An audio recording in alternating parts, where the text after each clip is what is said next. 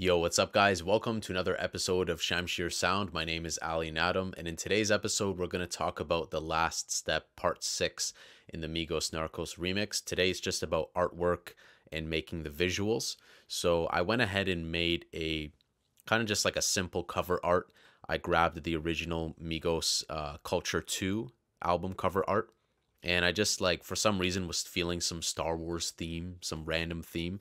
So I just made like a bit of it blue, a bit of it red. I grabbed these like lightning bolts from Pexels. You can always use a site that has royalty free, commercial use friendly, copyright free images like Unsplash, uh, Pexels, just to name a few. They also have videos as well. And that's great if you guys are not too good with creating something from scratch and you want to work with an existing image, because I do that all the time. But here it doesn't really matter because it's, you know, it's a bootleg, it's a remix, it's an unofficial remix. I decided to call it remix because it, it doesn't use a lot of the original track. It's almost like its own track. So I thought, you know what, let me just call it remix. It's okay if you guys want to call it remix, bootleg, edit, you know, the the naming it really at the end of the day it's it's not that important. Don't let someone annoy you and be like it's a bootleg it's this. It doesn't matter. Just call it whatever you want. As long as you know what you're working with and that you know that it's like a, not an official remix. So that aside working on the photoshop stuff i then fired up z game editor and i was working on it for a while and um, i'm going to start with all the different elements and show you guys like how they stack up because with me for z game i'm you know, I'm still like an amateur, I'd say. I know Z Game Editor pretty well, but not to say that uh, I don't think I'm okay with Z Game Editor, but I feel like Z Game Editor has so much power and uh, it can do insane stuff. And I'm going to talk about that in a separate video, this wizard here. So, firstly, I added my image, and you can add your image in the add content here, add pictures. So, I added my picture, I made it really large. And then I started just using different elements, moving them around. I started with this flare, and the flare added like a nice background. I then added this, the stack trace, which is just this kind of like scanning Metroid Prime thing going by. And though it looks pretty crappy here, the color correction then takes care of it. So we have some color correction that adjusts a bit of the gamma, makes it a bit darker. And then I added this lava, but the lava is being automated. Um, the mix levels being automated and being played at a different part of the uh, track during the break. Then we have this, the goop flow. So this is giving you a little bit of like waves. Then we have this, which does a lot. The Boxton is like this uh, filter, this kaleidoscope kind of uh, feedback filter. And uh, that is doing a really cool job at kind of taking those elements and creating some motion. And then we have the fluids. I use this a lot the fluids is sending stuff forward, and that's using the gravity Z. The gravity Z allows you to move stuff kind of forward, so you can move it upwards, downwards. You could make like a flame effect. There's a lot of cool stuff, and that's why it's like really up to you. It's just up to your uh, creativity, what it is you want to do. So moving on, I also added the core dump. I like using this a lot. Uh, it kind of adds like this matrix kind of binary feel, and I'm using the binary instead of hex. The binary is what gives you that 0101. Then we have the reflective peaks. So this won't do anything right now, but it's a bouncing waveform for the audio. Also wave simple, which is also a bouncing waveform. And then we have these two as well, linear, which you'll see at the top and bottom. Linear will also be a kind of bouncing EQ, spectrum analyzer. Uh, I also added this 8-bit pad thing, whatever it's called, pads, because it gave a nice little uh, like color in the background, a nice glow. And then to glue everything, I added some bloom. Bloom uh, really just works the same way with video games. The bloom, you just got to customize it how you like, find that threshold. So a lot of this is visual stuff. And if you guys are just new into Z Game Editor, just go ahead and just mess around with the stuff. I'd say just experiment because uh, with Z Game Editor, sometimes you stumble upon really cool combinations by accident.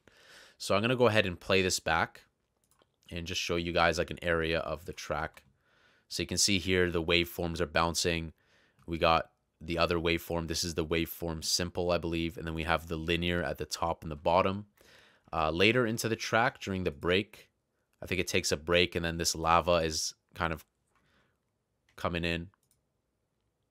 You can see there some cool stuff there. Pretty simple, but you know, I think that it's it's nice it's nice to do it. It's it's a kind gesture and definitely cool to do it when you uh, do that instead of just having a static image. I think just gives it a bit more eye candy and uh, i don't like to go too extreme but with this one it kind of worked out.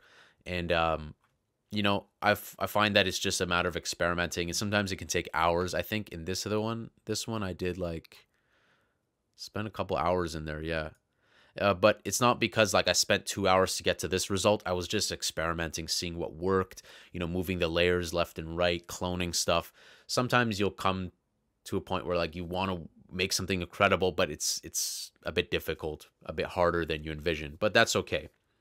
So ultimately, I took this and uh, what I did, I'm going to show you guys here. I actually moved the track forward a, bit. I like to do this. I like to render a bit before, just so that Z Game Editor doesn't like st uh, start um, too late. So I like to render a bit before, so I have a bit of pre-rendered before the track actually drops. And then I like to do the same for the end. I like to render a bit further on, just in case it cuts off.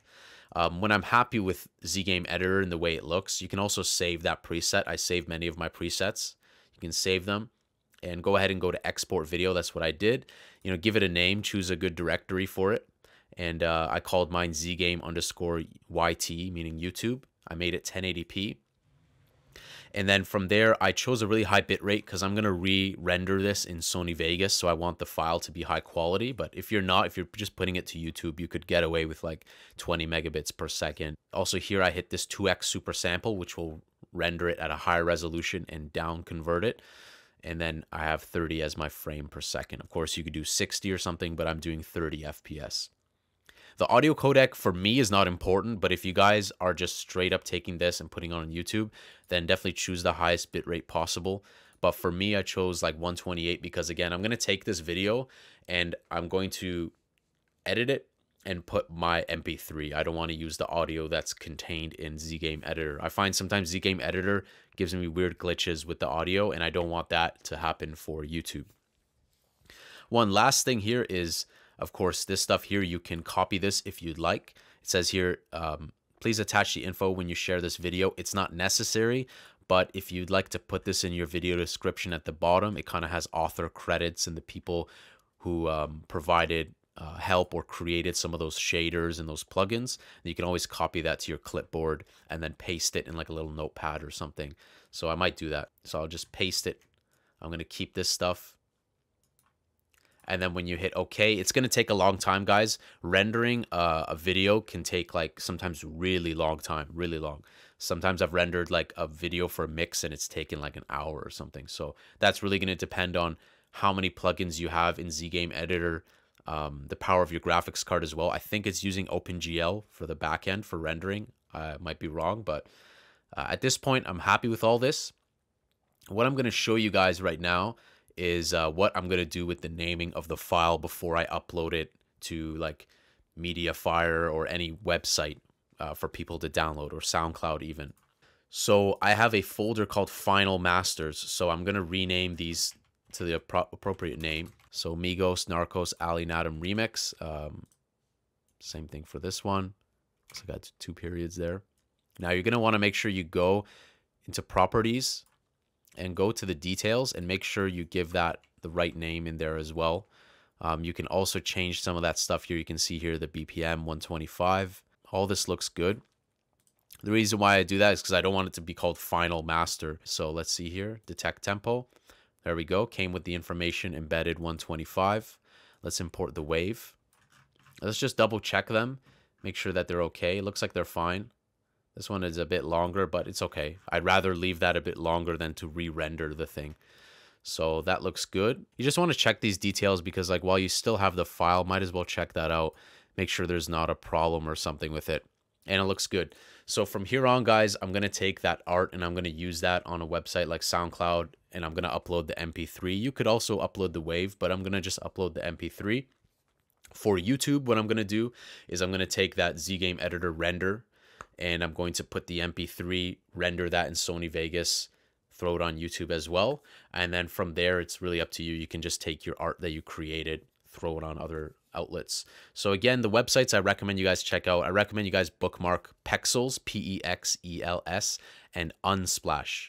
Unsplash is also great, and they're going to give you a lot of inspiration if you're thinking like a certain mood, a certain idea, and you want to work with some image. Because then you don't also have to you don't have to credit the author, and you can use that for a commercial release. Like you can release a track on Beatport or on you know wherever Spotify, this that with that artwork that you've taken. You don't even have to credit the author. You can if you'd like.